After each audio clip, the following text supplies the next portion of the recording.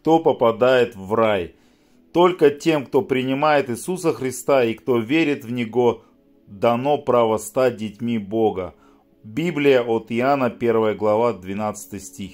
Таким образом, дар вечной жизни приходит только через Иисуса Христа ко всем тем, кто верит в Него. Он сказал, «Я путь, истина и жизнь». Иисус Христос сказал, «Только через меня можно прийти к Отцу». От Иоанна 14 глава 6 стих. «Не через Мухаммеда, Буду или других ложных богов, изобретенных человеком.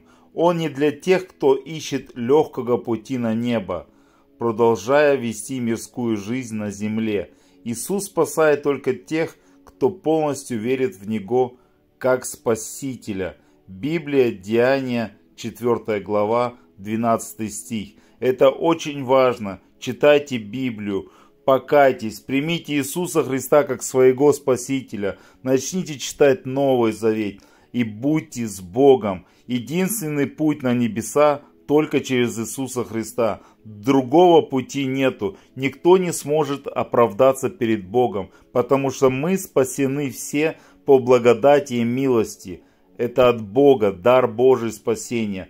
Только вопрос, примешь ты или нет – Прими сейчас, сегодня ты слышишь мои слова. Я оставлю в этом ролике снизу молитву покаяния. Прими Иисуса Христа как своего Спасителя и начни жить с Господом. Покаяние это путь к Богу, а путь к Богу это познание истины. Познание истины это идет к вечной жизни. Будь готов сегодня встретить Господа нашего Иисуса Христа и жить с Ним вечно в раю. Аминь.